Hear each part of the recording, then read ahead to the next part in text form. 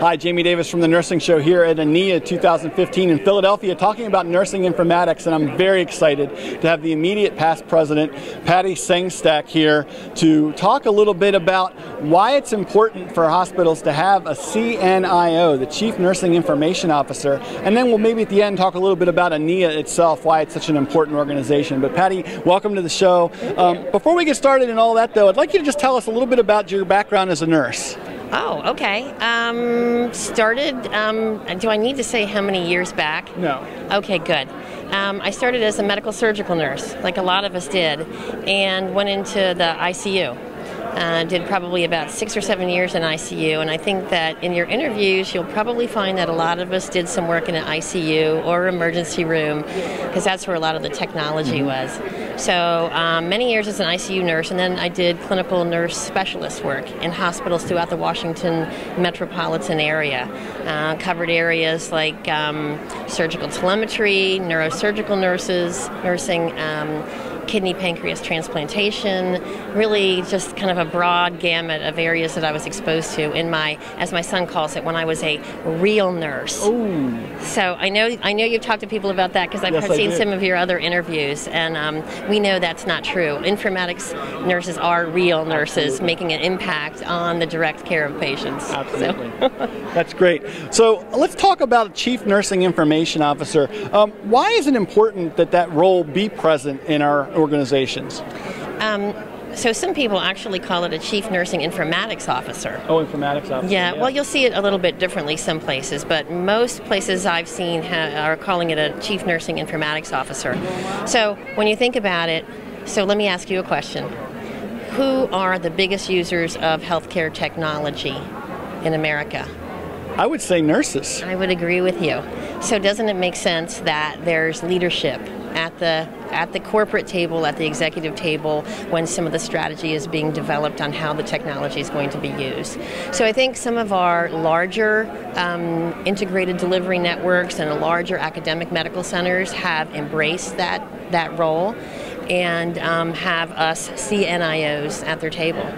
Um, many of us are now doctorally prepared and are helping to develop strategy and helping to um, put together the plans that help drive clinical transformation.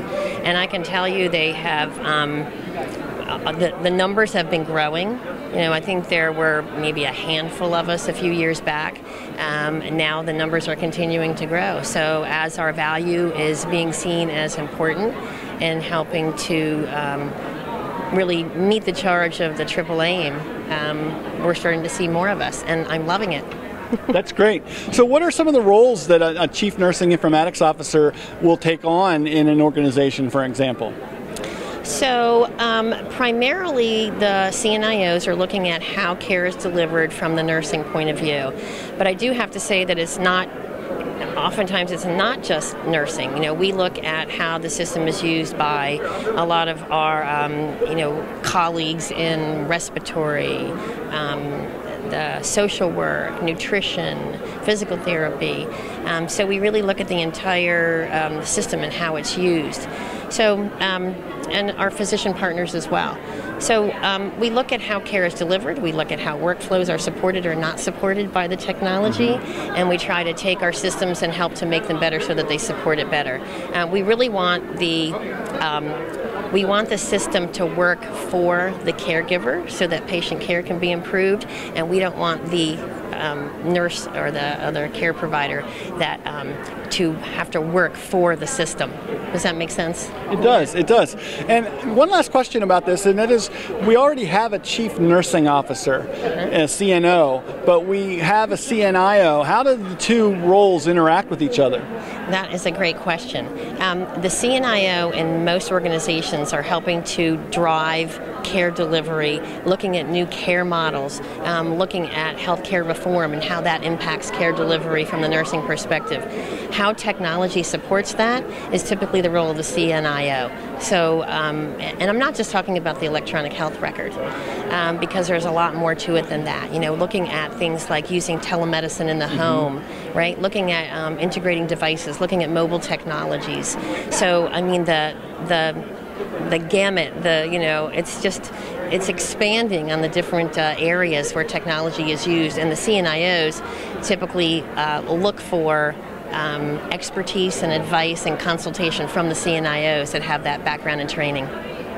So let's talk a little bit about ANIA as we wrap up here. Um, you know, as the media past president, you have been at the helm of this organization. Uh, it's clearly an organization for which you have a lot of passion.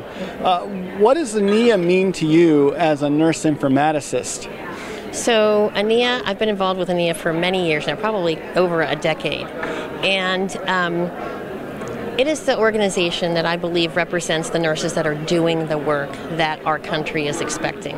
They're the ones that are putting into place all the initiatives that are coming out of the Office of the National Coordinator for Health IT. They are making it happen. And I love that. And so if you've been to any of the sessions here, you'll see these nurses who are passionate about what they're doing really um, sharing the good, the bad, and the ugly of, of their implementations and the challenges that they're having. And um, being able to provide a forum and a place to meet, network, and increase their education um, means a lot to me. Um, so, the one thing I do have to tell you is, and the one thing I'm partic- particularly proud of, is that the membership dues for this organization are only $60. Really? 60 bucks. And yep, um, we have um, this wonderful conference and we have the um, monthly webinars, all of them where the nurses can earn contact hours. And that's something that is very um, valuable to them because they want to keep their board certification up. So, um, you know, we just have lots of, we have a publication that we put out that also has contact hours. Um, we have a active list serve where people can ask questions of one another. Um, it's just an organization that just really meets the needs of the nurse informaticists and the emerging leaders that we have in the field. Well, and that's fantastic. So they can people that are looking at this can find out more at ania.org. Yes. Thank so, you very much. Thanks for coming on. And I want to thank all of you for checking this out. We're here from ANIA 2015 in Philadelphia talking about nursing informatics. I want to thank Patty for coming here and joining me. I know she's very busy.